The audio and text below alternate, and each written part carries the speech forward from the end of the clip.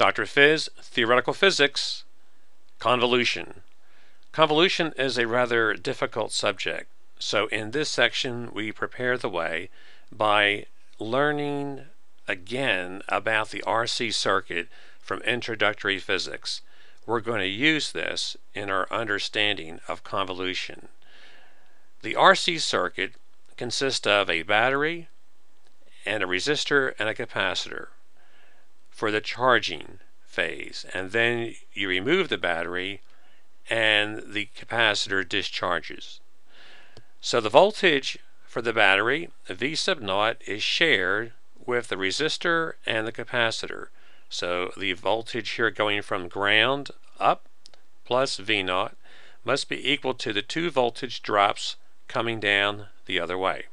So sometimes they write this V sub 0 minus VR minus VC equals 0.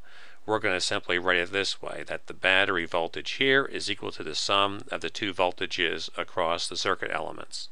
Ohm's law states that the voltage across the resistor is given by IR. If you increase the battery strength, you get more current. If you have a constant voltage and increase your resistance, then the current drops down. Ohm's law, strictly speaking, says the resistance here is constant for a resistor. Now that's going to be true as long as you don't hit it with too much voltage and burn the little resistor out. For the capacitor, we have voltage that's proportional to the charge that begins to appear on this capacitor as we charge it up. Now the capacitance, capital C, is a measure of how much charge can be stored on the capacitor. So for a given voltage, if you can store lots of Q, that means we want the C rating to be high. So Q, lots of Q divided by a big C is then a constant V sub C. So you can think of that as charging a capacitor, how much charge can you get on there, and C is equal to Q over V sub C as another way of looking at it. So here we have these two equations, the voltage across the resistor and the voltage across the capacitor. And when we plug those in, we get our nice circuit equation here. The voltage for the battery is shared here with the voltage across the resistor and the voltage across the capacitor. Now we imagine at time t equals 0 we flip a switch and close a circuit when there's no charge on the capacitor initially. So that means Q at point t equals 0 is 0 and then when you flip the switch, there's a rush of current. The charge hasn't hasn't got a, ch a chance to charge up the capacitor at t equals zero, so you still have no voltage here initially. And the voltage across the resistor, see, all of it's across the resistor, but as the capacitor charges up, then the current is going to decrease, decrease, and when the capacitor is fully charged, there'll be no more current. So that means when you go to long times, we'll say t is equal to infinity here, the reverse happens. You have the voltage across the capacitor at full value, and you have no voltage across the resistor because there's no current anymore. So let's review that again. At time t equals 0, there's voltage across the resistor equal to V sub 0 and there is no voltage across capa the capacitor. As t then heads to infinity, what happens is you get the voltage across the resistor being 0 and the voltage across capacitor being V sub 0.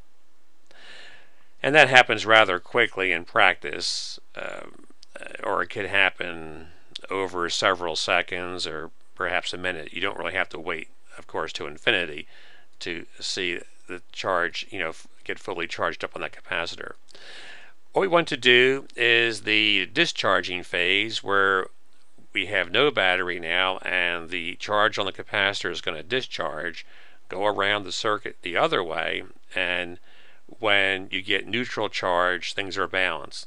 Now, engineers like to think of the positive as flowing, but the chemist will tell you it's the electrons, see, the electrons here that flow in the wire. So really the electrons will go the other way.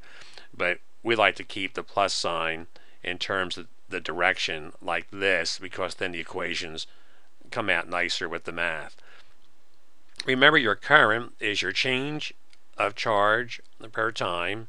It's how much charge moves by per time. So that's a derivative that goes into our equation. And without having that battery there, we don't have that V naught anymore over here. We just have zero. So that means here, that's all you have. IR plus Q over C has to be zero since there's no battery here. Now that's a differential equation that we can solve fairly easily. We do the old uh, separation of the variables here. So we're going to uh, put r dq dt on the one side and then we'll have on the other side a relative minus sign here because we're basically bringing one of these to the other side of the equation. And then we get the q with the dq and get all these constants over here with the dt, which is lonely, doesn't even have a time variable in there, so we'll give it all the constants. Notice RC appears together, which is characteristic of RC circuits, and then we integrate, and we're going to get the natural logarithm here of the charge. We integrate from the time t equals 0 to some arbitrary time t, and that goes along with the charge at t equals 0, the initial charge on the capacitor, and here then some uh, final you know, time, which is arbitrary, so we have a nice function. Let's just uh, point out something here that we note that when the charge was fully on that capacitor from our previous problem up in here, we see that all the V naught was with that C. So the charge, when it's fully charged, is C V naught. So in the second problem, when we discharge, that's going to be what we start with. So CV naught is the initial charge, and we're discharging. So we then get the equation, the uh, Q of t is Q of 0 times this exponential, because here you have that logarithm, and when you exponentiate both sides, then you'll get this nice effect. And we could put in that initial charge now, that CV naught, and have this equation. Notice that RC must have units of time because with these exponentials you always have to have a dimensionless quantity when you're doing physics or engineering. Here's a summary. You have a neat uh, case here where the discharge follows that nice exponential. And as a practice problem, it'd be nice for you to do the differential equation to formally get this solution, which you could pretty much guess that you start out here with no charge. So you have this equation where if you have t is equal to 0, you have 1 minus 1. And then as t goes to infinity, you got to get that cv naught. So after doing this first case and seeing this exponential decay, you could kind of guess that you would expect you know to get something like this, but it's good practice mathematically to work it out in detail. We'll see you in the next section as we proceed to unravel the mysteries of convolution using an RC circuit.